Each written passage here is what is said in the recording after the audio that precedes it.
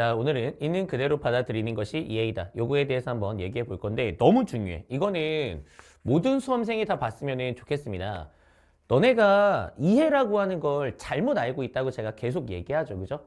너네는 이해를 뭔가 나 스스로 납득할 수 있게 하는 게 이해라고 생각하는데 그건 이해가 아니에요. 있는 그대로 받아들이는 게 이해야. 너네가 이걸 못하니까 국어도 못하고 수학도 못하는 거야. 다 이유가 있겠죠. 못하는 건. 나는 공부하는데 왜 성적이 안 오를까? 공부 안 하니까, 내 생각만 하니까, 적혀 있는 걸 그대로 받아들일 생각은 안 하고 내 마음대로 하니까 당연히 성적이 안 나오는 거야. 그거를 너네가 아직도 못 깨우치고 있으면은 수능 잘 보기 힘들어요. 응? 너네 국어 가지고 한번 간단하게 얘기한 다음에 수학으로 갈 건데 국어도 마찬가지야. 너네가 가장 많이 실수하는 게 뭐야? 이런 게 있습니다. 지문이 이만큼 있어.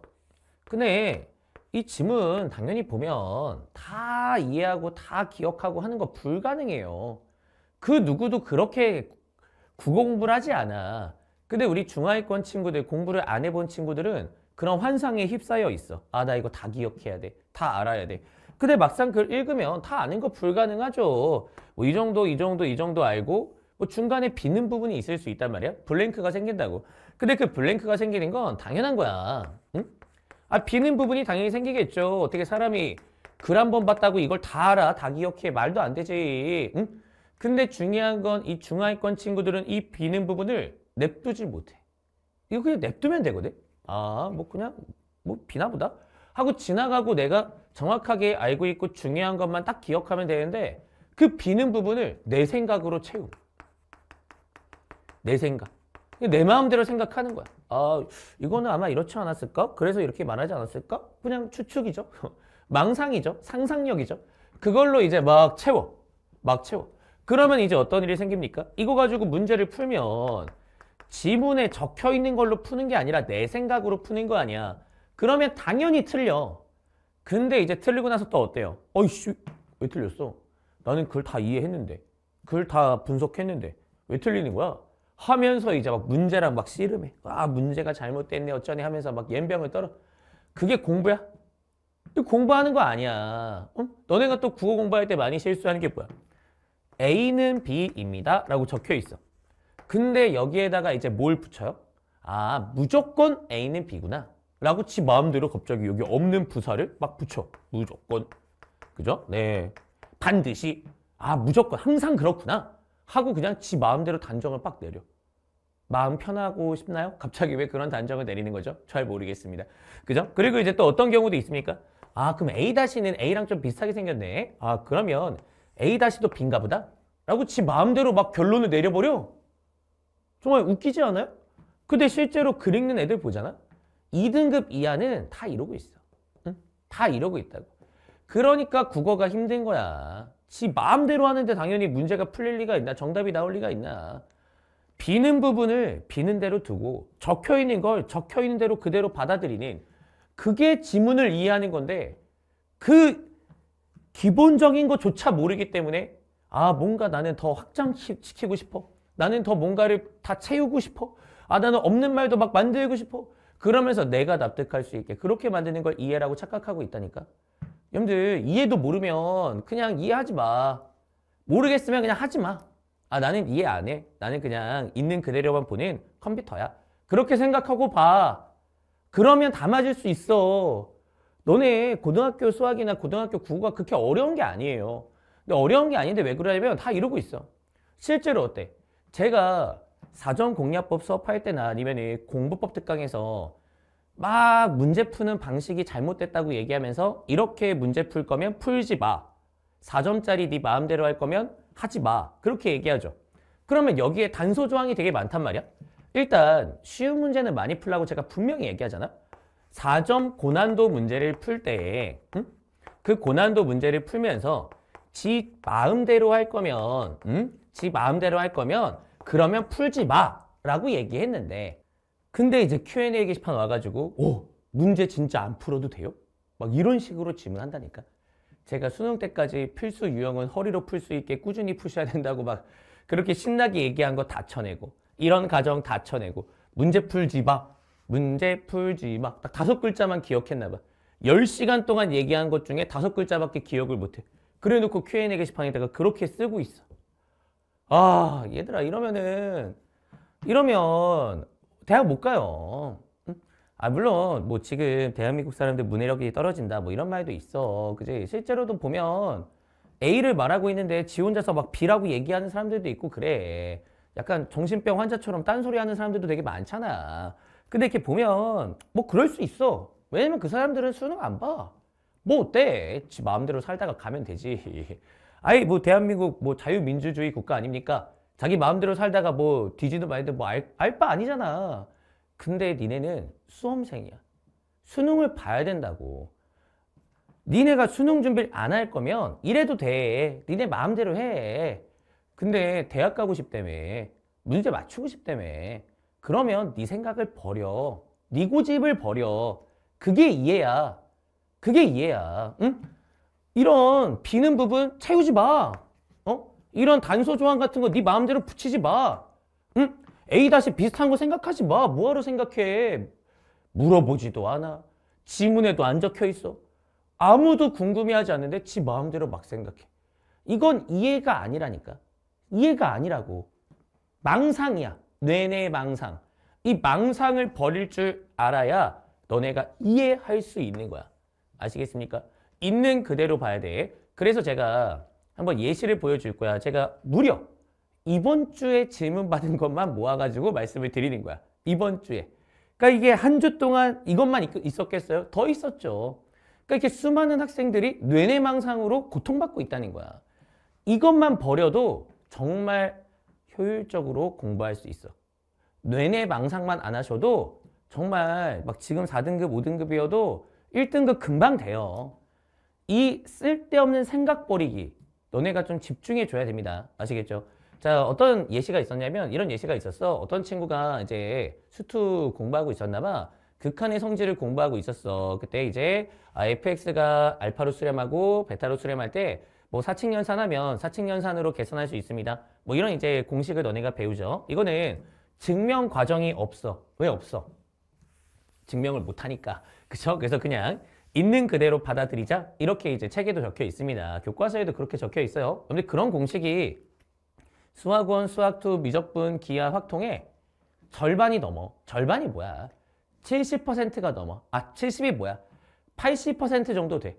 너네 생각해봐. 수학 원 중에 뭐 제대로 증명하는 거 있어요? 증명하는 거 있어? 거의 없어. 우리가 제대로 증명하는 거 지수로그 연산이랑 등차수열 공식, 등비수열 공식 말고 증명하는 게 뭐 있어? 없어. 없어. 수학2에 뭐 있어? 이거 증명해요? 안 해요. 그럼 뭐 증명해? 미분 정의 정도. 정적분 기본 정리 제대로 증명합니까? 제대로 증명 안 해. 그러니까 생각보다 많은 부분들을 이렇게 설명하고 있어요. 그냥 있는 그대로 적어줘. 이거면 이거입니다. 아 그리고 단 이거일 땐 안 돼요. 뭐 나누기 할 때는 베타가 0이면 분모가 0 되니까 이거 쓰, 뭐 이거 못 씁니다. 이거 쓰시면 안 돼요. 이렇게 딱 적혀 있단 말이야. 근데 어떤 학생이 이런 질문을 한 거야. 선생님, 저는 이게 이해가 안 됩니다. 근데 이게 이해가 안 될 게 없어. 왜냐면 증명한 게 아니라 그냥 이거면 이렇게 돼 라고 사실이 적혀 있는 거거든. 여기에 무슨 이해가 필요하지? 무슨 이해가 필요하지? 아 이렇게 된다는데 그냥 아무 이해도 필요 없는데 갑자기 이해가 안 되는데 일단 거기서부터 제가 어? 뭐야 이거? 말이 안 되는데? 라는 생각을 받았어. 그 다음에 이제 그 친구의 두 번째 줄을 보니까 뭐냐면 그러면 베타가 0이면 수렴하는 거 아니네요? 발산하는 거네요? 라고 저한테 얘기하는 거야. 극한값이 없네요. 저는 그걸 보면서 또 한 차례 또 어? 어? 이 새끼 뭐야? 지 마음대로 생각하네? 라는 생각이 든 거야. 왜냐면 이거면 이렇게 되고 베타가 0이면 이렇게 안 됩니다. 라는 거야. 근데 이렇게 안 되면 무조건 수렴 안 하는 거야? 발산한다고 누가 얘기해 줬어? 아무도 얘기 안 했어. 그냥 베타가 0일 때 분모가 0 되니까 나누기 할 때는 좀 이상하니까 이거 못 써. 이 공식을 못 써. 이거이면 이거다라고 말 못해. 라는 거지. 극한이 수렴하지 않는다. 라고 아무도 말하지 않았어. 근데 갑자기 극한이 수렴하지 않는 거 아니에요? 아 근데 저는 생각해 보니까 극한이 수렴할 수도 있을 것 같은데 점점점 막 그러고 있는 거야. 말하지도 않았고 언급도 안 돼 있고 그런 부분에 대해서 막 자기 혼자서 막 생각을 펼치면서 아니 왜 GX 025도 약분되면서 수렴하는 경우가 있는데 왜왜왜왜 왜 왜 왜 하면서 계속 그거를 계속 고민하고 있는 거야. 다 쓸데없는 시간 낭비가 되는 거죠. 쓸데없는 시간 낭비가 되는 거야. 왜 적혀 있는 대로 안 봐? 누가 이 극한의 수렴성에 대해서 얘기하고 있어? 응? 이거 두 개 수렴하면 이렇게 계산할 수 있다. 카 전부인 한 줄 적혀 있는 내용에서 왜 추가적으로 다른 생각을 덧붙이냐 이거야. 그건 이해가 아니라니까. 다시 한번 말씀드리지만 그건 망상이야. 응? 아 그럼 이거 못 쓰니까 다른 방식으로 계산하겠죠. 다른 방식이 뭐야? 0분의 0꼴이야. 0분의 0꼴 연산 바로 뒤에 나와. 바로 뒤에 나와. 왜? 이, 이 공식으로 계산 못하니까 다른 방식이 필요하니까 다른 방식으로 계산하는 방식을 배워보자 하고 쭉 연결돼 있다고. 그래서 제가 얘기하잖아. 이런 데서 너네가 멈추지 말고 그냥 전체를 쭉 보라니까. 그럼 이런 의문부호가 사라져요. 아, 분모가 0될 때는 이걸로 계산하는 거 아니고 바로 뒷페이지에 있는 0분의 0꼴을 산수하는 거구나. 여기에서 그냥 매몰돼가지고 한두 시간, 세 시간, 네 시간 보내고 자빠져 있으니까. 그러니까 항상 시간이 부족한 거야, 니네가. 응? 정말 수능이라는 거, 아, 진짜 금방 끝내고 금방 마무리할 수 있는데. 응? 쓸데없는 시간을 이렇게 많이 써요. 차라리 그 세네 시간 동안 저 끝까지 갔으면, 아, 분모가 0일 때는 이거 못 써가지고 뒤에서 따로 배우는 거였어. 아, 그렇게 약분시켜가면서 처리하는 거였어. 아, 좀 사용할 수 있는 게 좀 다른 거구나. 그냥 그렇게 하고 끝내면 되는데 여기서 멈춰. 멈춘 다음에 난 이거를 납득할 때까지 절대 지나가지 않겠어. 배수해지는 친구처럼. 여기에 그냥 메모돼가지고 이거 뭐 중요합니까? 여러분들 이거 수능 보시는 분들, 수능 보신 분들 이거 뭐 생각이나 합니까? 생각도 안 하잖아. 그냥 뭐 산수하는 용도로 그냥 쓰고 지나가는 거 아니야. 정말 아무것도 아닌 거에 그날 하루의 공부를 꼬라박고 있다. 그러니까 시간이 없지. 절대 그러시면 안 돼요. 적혀 있는 그대로만. 응? 여기서 그 누구도 수렴한다, 발산한다, 뭐 그런 거에 대해서 더 추가적으로 언급된 게 없는 거야. 뭐, 아, 더하기 빼기 곱하기는 무조건 더하기 빼기 곱하기니까 아, 수렴값이 있구나, 수렴하는구나. 오케이? 자, 나누기도 베타가 0이 아니면, 응? 베타가 0이 아니면 나누기도 아, 수렴하는구나. 오케이. 그러면 베타가 0일 때는 아, 몰라. 몰라. 안 적혀 있는 거야. 아 이거 못 써? 이거 못 쓰니까 몰라? 그냥 모르는 거지 그걸 채우려고 하지 말라니까 왜 네 마음대로 채우냐고 절대 그러지 마 그 다음에 두 번째 이것도 마찬가지예요 자 어떤 친구가 이런 공식을 이제 또 물어봤어요 A가 0보다 크고 B가 0보다 클 때 뭐 이렇게 여러 가지 이제 거듭 제곱근 성질이 있잖아 그때 이제 이런 게 있었나 봐 따따 지우면서 그죠 자 근데 뒤에서 문제 풀 때 보니까 세제곱근 그리고 마이너스 2의 3승이 있었는데 강윤구가 이걸 마이너스 2라고 계산한 거야. 응? 그러면서 이제 뭘 또 질문했냐면 아니 이거 양수이고 양수일 때 이렇게 됩니다라고 적혀 있다. 양수이고 양수일 때 만 되는 거 아니냐라는 자기 생각을 또 붙이는 거야. 나 미치겠어 진짜. 그죠? 어. 아니 이거 양수이고 양수일 때만 되는 거 아니에요? 왜 음수인데 왜 있어요? 라고 질문하는 거야. 여러분들 이거 왜 왜 왜 왜 이런 거 왜 붙여? 어? 아니 이때만 되고 나머지 안 되는 거야? 나머지 안 된다고 누가 얘기했어요? 응? 나머지 범위에서는 이 공식 절대 성립하지 않습니다. 라고 누가 얘기했어? 안 했어. 양수구 양수면 이렇게 됩니다. 그게 다야. 그럼 음수일 때는요? 모르지. 블랭크로 둬. 왜 니네 생각으로 채워? 어? 이 공식이 아니라 다른 내용으로 음수일 때는 해결하겠죠. 이거는 A의 N제곱근으로 해결하는 거 아니야. 근데 이제 여기에서 또 뇌내망상 막 발동하면서 어? 이거 양수이고 양수일 때만 되는 거 아니야? 어? 어 음수일 때 쓰면 안 되는 거 아니야? 누가 음수일 때 안 된다 그랬어? 누가 안 된다 그랬어? 왜 네 마음대로 생각해? 왜 니네 마음대로 생각해? 절대 그러지 말라는 거야. 적혀 있는 대로만 적혀 있는 대로만 있는 그대로 알고 나머지 상황은 블랭크로 둬. 비워둬. 채우지 마. 쓸데없는 나의 생각으로 비는 부분을 메우지 마. 국어도 그러는 거야. 수학도 그러는 거야. 너네 이거 잘해야 돼. 이것만 잘하잖아? 무조건 너네 1등급 이상 나와. 무조건 대학 갈 수 있다. 너네 지금 4등급, 5등급이야. 공부해도 계속 그 등급이야. 지금 제가 얘기하는 것들을 그대로 다 반대로 하고 있어서 그래. 비는 거 다 채우고 모르는 거 두려워하고 다 알아야 될 것 같고 계속 그런 겁 때문에 막 쓸데없이 다 채우려고 하고 아 이거 그러면 은 나머지 안 되는 거구나 하고 나머지 상황 그냥 다 제껴버리려고 하고 빨리 단정 짓고 싶어 하고 빨리 결론 내고 싶어 하고 빨리 끝내버리고 싶고 다 그런 나쁜 생각이 있으니까 4등급, 5등급이야. 저도 국어 못했다 그랬죠. 제가 이걸 왜 알겠어 얘들아. 내가 국어를 못할 때 물론 수학에선 이렇게 안 했지만 제가 국어를 못할 때 실제로 이랬기 때문이야. 응? 비는 부분을 냅둬야 되는데 못 냅두는 거야. 받아들이지 못하는 거야. 왜? 저, 나의 오만함 때문에. 저는 이제 약간 좀 다르죠. 나는 정말 똑똑한데 수학, 과학도 진짜 잘하고 응? 못하는 게 없는데 왜 국어에 비는 부분이 있지? 하면서 이거를 내가 억지로 그냥 막 채워넣은 거야. 응? 그렇게 막 채워넣으니까 등급이 안 나오지. 성적이 안 나오지. 정말 놀랍게도 그걸 빼고 그냥 비워두잖아? 그러면 1등급은 나와. 1등급 나와. 그리고 비는 부분을 합리적으로 줄일 수 있다면 100점이 나오는 거야. 이걸 그냥 니네 내뇌망상으로 네 마음대로 채우는 게 아니라 근거 있게 주변의 글들의 도움을 받아서 혹은 뭐 이제 뭐 작가나 뭐 배경 지식을 좀 본다던가 아니면 뭔가 근거가 있겠죠. 그 근거를 가지고 너네가 싹 조금 조금만 더 조금만 더 채울 수 있으면 100점이 나오는 거야. 근데 비는 거 그대로 둬도 90은 나와. 90은 나온다고. 그러니까 비워둬야 돼. 수학도 마찬가지야. 상황마다 다 달라. 너네가 그걸 인정하지 않고 아, 이 상황에서만 이렇게 되는 거고 나머지 상황은 몰라. 아, 그냥 안 나와 있는 거구나. 라고 인정하지 않으면 너네 다 오류 있는 문제풀이밖에 못해요. 그리고 해설지 보면 갑자기 또 이해가 안 된다 그런다. 왜냐면 어?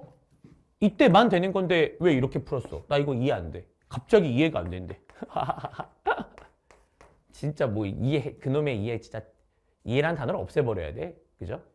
지 마음대로 잘못 생각한 다음에 문제 풀 때 이해가 안 되는데 이게 무슨 이해의 문제가 아니잖아 얘들아. 이건 이해의 문제가 아니라는 거야. 제발 제발 이렇게 그지 같은 생각 좀 하지 마시고 이게 근데 기초 단계에서만 발생하냐? 아닙니다. 사전 공략법 상황에서도 발생합니다. 정말 안타까운 일이야. 이런 분들은 사전 공략법 보기 전에 내 생각 비우기 어 그리고 만약에 언급된 거 이외에 다른 거는 비워두기 꼭 기억해라. 비워둬. 절대값 fx는 절대값 gx야. 자, 이 항등식이 있었대. 자, 이 항등식을 풀면 fx를 gx 혹은 마이너스 gx라고 볼 수 있을 거야. 구간이 정해져 있지 않으니까 선택형 함수가 되겠죠. 제가 이렇게 이제 설명했단 말이야. 제가 언제 이것만 된다고 했을까요? 지금 제가 이거 말하면서 이때만 선택형 함수가 나옵니다 라고 말했나요? 아니에요. 근데 갑자기 어떤 친구가 어? 절대값 gx는 아 절대값 fx는 gx 얘도 절대값 벗기니까 음? 손가락 잘리기 싫으면 0보다 크거나 다 붙여야 되니까 0보다 크거나 같을 때 gx 마이너스 gx 하면서 선택형 함수 나오던데요? 이것도 되는 거 아닌가요? 라고 갑자기 말하는 거야. 아니 누가 이거 안 된다 그랬어요? 누가 안 된다 그랬어? 제가 이때만 된다고 했어요? 그런 말 안 했잖아. 그냥 이러면 이렇게 돼서 이렇게 된다. 라고 얘기하고 있는데 갑자기 이런 거 왜 물어보는 거야? 응? 너네 왜 자꾸 이때만 반드시 항상 이런 단어를 왜 붙이고 싶어 하는 거야? 여러분들 수학이나 국어나 국어도 지문 잘 봐봐. A는 B다. 쭉 얘기하고 다만 하고 예외를 꼭 둬. 왜냐면 실제로 예외가 있고 상황이 달라지면 달라질 수 있기 때문이야. 응? 실제로 다 그래. 너네 만류인력 법칙도 어때요? 우리가 항상 적용된다 라고 얘기할 수 있습니까? 응? 아니잖아. 그러니까 너네가 거시적인 상황에서는 물론 잘 적용되겠지만 미시에서 보면은 또 이게 안 맞을 수도 있어요. 다만 붙을 수 있죠. 응? 양수이고 양수일 때는 이게 항상 성립되니까 그냥 모아서 공식으로 정리해 놓은 것 뿐이야. 음수일 때는 될 때도 있고 안 될 때도 있어서 이렇게 그냥 딱 정리 못하니까 안 써놓은 거야. 안 써놓은 것 뿐이야. 그걸 너네가 다 인정할 수 있어야 돼. 아, 단, 다만 상황이 다르면 다르구나. 응? 편하게 공부하려고 하지 말라고. 너네 4등급, 5등급, 3등급도 마찬가지고 2등급도 마찬가지겠지. 편하게 살려고 하니까 성적이 안 오르는 거야. 응? 그냥 어 무조건 이렇게 딱 기억하면 얼마나 편하겠어. 그죠? 제가 이런 이런 얍삽한 마인드를 사실 알고 있어. 응? 아 이것도 얼마나 편해. 그냥 하나만 딱 이때만 딱 요것만 알면 되겠지? 그렇게 양을 줄이고 싶은 거죠. 그죠? 어, 이것도 마찬가지죠. 그냥 이것만 다- 딱 보고서 그냥 다 알았으면 좋겠죠. 그죠? 근데 이것만 딱 보고 다 아는 경우는 없어요. 없어. 상황마다 다 달라. 응? 사전 공략법 가시면 제가 왜 상황 얘기 왜 합니까? 상황마다 문제 푸는 거 다 달라. 무조건 이렇게 한다? 없어. 무조건이 어디 있어? 물론 한두 개 정도야 있겠죠. 무조건 지켜줘야 되는 원칙이 있겠지. 근데 그럼 몇 가지 정말 중요한 거 제외하고는 다 상황마다 다르고 예외가 있고 다 그래요. 아, 세상 만사가 어떻게 하나로 설명되겠니? 비워둬. 비워두는 거야. 알겠죠? 앞으로 이런 이상한 질문 하시면은 제가 다 이 영상 보라고 댓글 남길 겁니다. 답하지 않고 이 TCC를 봐라 라고 그냥 답글 남길 거야. 답변할 가치도 없어요, 사실. 응? 그렇지 않아? 아, 이게 답변할 가치가 뭐 있어요? 베타가 0일 때는 나누기 할 때 아무 말도 없어. 비워둬. 나도 몰라. 어? 이거 가지고 그딴 쓸데없는 생각하지 말라고. 이것도 마찬가지야. A가 음수고 B가 음수면 비워둬. 비워둬. 몰라 나도. 어? 다른 데서 다른 걸로 그때 알아서 체- 해결하겠죠. 다른 내용으로 해결하겠지. 이것도 마찬가지야. 여기서 이거 얘기하면 어 다른 상황은요. 그거에 맞게 알아서 하겠죠. 왜 자꾸 한 방에 다 끝내버리려고 하는 거야. 씨. 그지? 절대 그러지 마. 그리고 또 뭐 하나가 있냐면 이런 것도 있어요. 여러분들 수학은 어, 교과서에 적혀 있는 거랑 실제 수학적 정의가 다른 경우도 있어요. 응? 다른 경우도 있어. 여러분들 이거 너네 예전에 극대 극소도 그랬어. 옛날에 그러니까 옛날에 수능 보다가 오랜만에 다시 도전하시는 분이 조금 헷갈려하는 것 중에 하나가 극대극소인데 옛날에는 증가해서 감소로 바뀌는 걸 저희가 극대라고 했어. 응? 증가해서 감소로 바뀌는 걸 극대라고 했어. 그래서 연속에서만 정의했고요. 연속에서 증가로 감소로 이렇게 바뀌면은 저희가 이걸 극대, 감소해서 증가로 바뀌면 이걸 극소 이렇게 정의했다고 교과서에서. 근데 실제 정의가 아니잖아. 실제는 이렇게 정의 안 하잖아. 그지? 그래서 교과서가 개편되면서 이거를 이제 폐지하고 진짜 진짜 극대 극소의 정의로 바꾼 거야. 바꾼 거야. 자, 여기서 우리가 좀 이제 알만한 부분이 생기는 거지. 뭐냐면 그러면 너네가 만약에 교과서에 개- 정의가 있고 교과서의 내용이 있잖아. 그리고 실제 수학적 정의가 있잖아. 뭐가 맞아? 교과서가 맞아. 그걸로 시험 문제가 나오는 거니까. 그죠? 그래서 만약에 이렇게 정의가 된 옛날 시대에는 너네가 이런 걸 보면서 극대라고 하면 되는 거야, 안 되는 거야? 극대라고 하면 안 되는 거야. 옛날 수능에서는. 그렇지 않아? 아니, 교과서에서는 연속에서만 정의하고 있잖아. 애초에 불연속이면 극대 극소가 아닌 거지. 그렇게 너네가 교과서에 적힌 수준에서 이해하고 지식을 습득해야 되는 거야. 그렇지 않아? 근데 어떤 친구가 있었냐면 아래로 볼록에 대해서 이제 의문감을 가졌나 봐. 왜냐면 미적분 교과서를 보면 아래로 볼록을 따로 정의하지 않아. 위로 볼록도 따로 정의하지 않아. 그냥 이렇게 생긴 게 아래로 볼록, 이렇게 생긴 게 위로 볼록 정도로만 하고 지나가. 왜냐면 이 아래로 볼록과 위로 볼록에 대한 엄밀한 정의는 교육과정상에 들어가 있지 않기 때문이겠지. 알겠습니까? 근데 이제 어떤 친구가 이게 궁금한 거야. 어, 아래로 볼록은 다 이렇게 아래로 볼록한 것만 아래로 볼록인가? 그렇겠죠. 위로 볼록은 그냥 위로 볼록 이렇게 나온 건가? 혹시 수학적 정의가 있지 않을까? 하고 이제 봤더니 뭐 내분으로 이제 정의하는 아래로 볼록 정의를 보게 된 거야. 그러면서 막 직선일 땐 어떡하지? 막 이런 여러 가지 상황들을 막 고민하기 시작하는 거야. 근데 그 교과서에 안 적혀 있는 거야. 응? 시험에 안 나와. 궁금해하지 않아도 돼. 아니, 오히려 그렇게 너네가 바라보면 교과서에서 얘기하는 아래로 볼록과 위로 볼록을 오해할 수 있어. 오해할 수 있다고. 절대 그러면 안 돼요. 응? 교과서 교육과정 내에서 우리가 수학을 배우는 거야. 거기에서 설명하는 수준에서 딱 지식을 배우면 되는 거지. 더 딥하게 들어간다고 해서 너네가 얻는 이득 없어요. 오히려 손해를 보는 거야. 손해를 보는 거야. 너네가 지식 수준을 습득할 때도 딱 교과서 정도까지만 습득하는 게 맞다. 교과서 서술 정도가 맞다라는 것을 알고 계셔야 돼. 알고 계셔야 돼. 이거 넘으려고 하면 안 돼. 근데 이런 이벤트는 왜 생기는 거야? 자꾸 뭐 개념이 중요하다, 개념이 중요하다 하니까 너네가 이거에 대해서 막 정확하게 알려고 막 검색도 해보고 하는 것 같은데 그러지 마. 중요한 거 아니야. 중요한 건 있는 그대로. 교과서에 적힌 대로. 딱 그 정도. 있는 그대로 객관적으로 보는 거야. 그 객관적으로 보는 게 뭐야? 이해야. 그게 이해야. 니네가 하는 거 이해 아니야. 그래서 제가 이해하지 말라고 얘기하는 거야.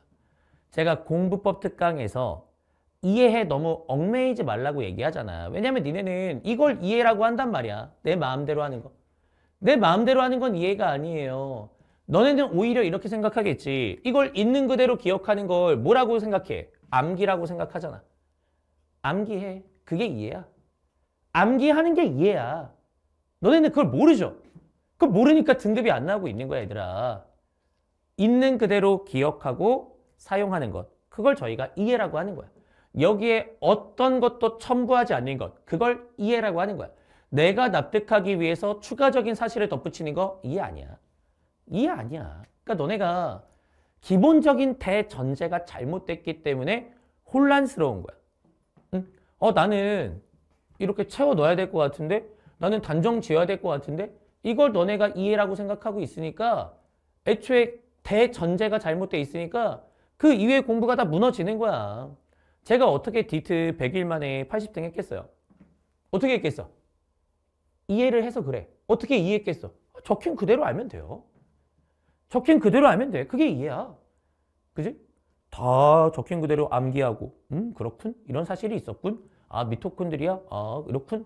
아, DNA? 그렇군. 그냥 있는 그대로 그냥 보면 되잖아. 어? 아, 반응 이렇게 되는군? 오케이, 오케이. 아, 여기에다가 뭘 덧붙일 게 뭐 있어. 그런 쓰잘데기 없는 시간 왜 해? 내 점수에 방해만 되는데. 응? 그거는 내 뇌내망상인데. 내 뇌내망상을 딱 제거하고 팩트만 딱딱딱 기억하는 것. 그게 시험에서 성공을 보장하는 유일한 방법이야. 알겠니? 그러니까 너네가 제발 당부한데 제가 이렇게 열심히 얘기하는 건 진짜 공부 못하는 애들 특징이 진짜 이래요. 너네도 지금 뜨끔뜨끔하죠? 그죠?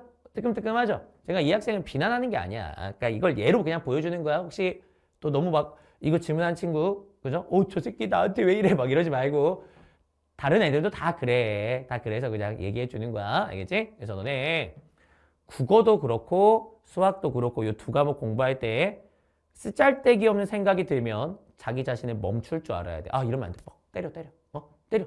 뭐 쳐가. 어 병신아. 네 생각하지 마. 안 적혀 있잖아. 하면서 다시 돌아올 수 있어야 돼.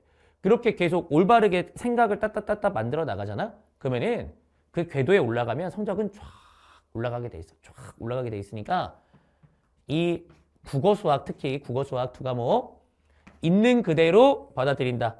있는 그대로 받아들인다. 이게 만약에 되게 어려우면 아침에 일어나서 30번 되뇌이고 그리고 공부 시작해. 있는 그대로 본다. 나는 있는 그대로 본다. 내 생각하지 않는다. 나의 생각을 뺀다. 알겠죠? 더 쓸데없는 단어 붙이지 않는다. 응? 유사한 거 찾아보려고 내리 생각하지 않는다. 응? 단정 짓지 않는다. 그걸 너네가 계속 되뇌요. 되뇌이고 그리고 공부에 임해. 그러면은 진짜 하루하루가 달라질 거야. 그 달라지면 이제 좀 재밌거든. 그러니까 너네가 고통받는 이유는 생각의 상충 때문이야. 그 상충은 니네 마음대로 뇌내망상하기 때문에 상충이 발생하는 거야. 그걸 빼면 돼. 알겠죠? 자, 여기까지 강는 거였습니다.